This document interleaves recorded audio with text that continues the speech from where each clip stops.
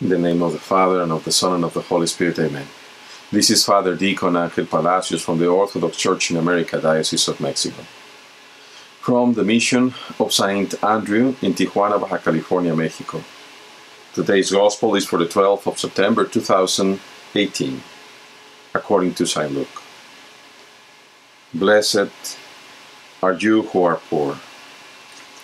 Raising his eyes towards his disciples, Jesus said, Blessed are you who are poor, for the kingdom of God is yours. Blessed are you who are now hungry, for you will be satisfied. Blessed are you who are now weeping, for you will laugh.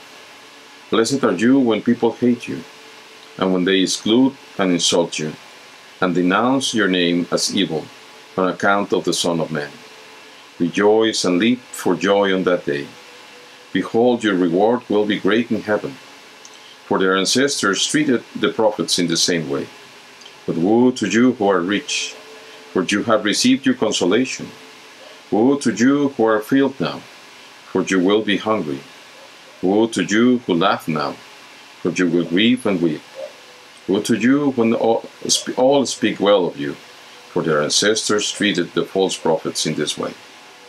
Glory be to thee, O God, glory be to thee. Well, blessed are those who are pure, blessed you who are pure. Before God, we all are poor.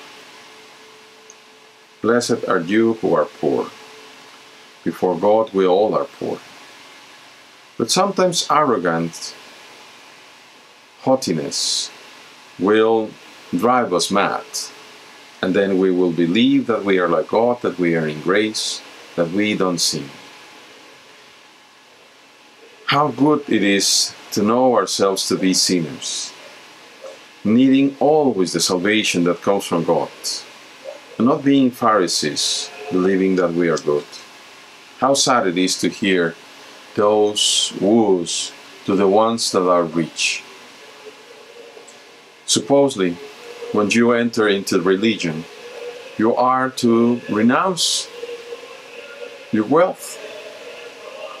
In the Orthodoxy, we who are married and also clergy have to work by our own means to sustain our families. How sad it is to see people that will not work and yet have beautiful mansions, have beautiful cars, very expensive uh, wardrobes. They are rich. They have banquets every day. They get upset if somebody does not reckon them with their dignity. How, how sad it is to see clergy people like that. As for us, blessed are the poor. May the Lord shine His face, the light of His face on all of us, that we might find what is faithful and true.